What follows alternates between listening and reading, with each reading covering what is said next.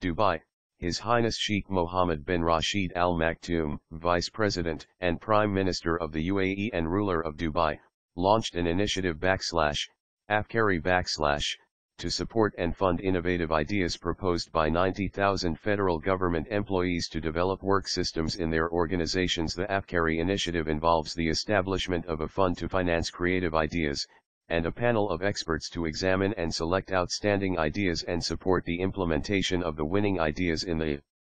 government bodies concerned within three months. The fund will finance the best innovative ideas that would contribute to developing government services at ministries and government bodies. The ideas will be examined and evaluated by the panel composed of a group of experts, innovators, and international entrepreneurs. The committee will also include representatives from the public and private sectors who will be chosen on the grounds of experience and academic and practical competence. We will have a team that will study the ideas and another team to support their implementation. Budgets will be allocated to support government employees with innovative and creative ideas to implement their ideas, Sheikh Mohammed said. The initiative, Afkari, includes the establishment of a fund to finance the ideas, while a special dedicated team of experts will examine the nominations and outstanding ideas and support the implementation of winning ideas in government organizations within three months. The fund will finance the best innovative ideas that will contribute to the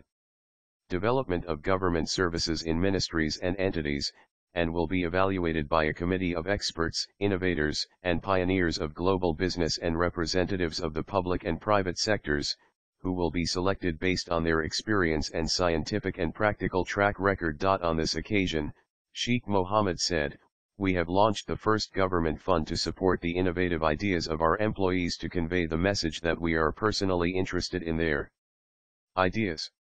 Every employee who has the ambition to improve government services will be encouraged and given the required support he added, changing the government system requires courage, ideas, and support for innovation, and we consider our employees as leaders Sheikh Mohammed said, nations are not built by wishes, but by the men and women who have the will to overcome challenges, and our job as leaders is to prepare leaders and provide an ideal environment for everyone to contribute to the process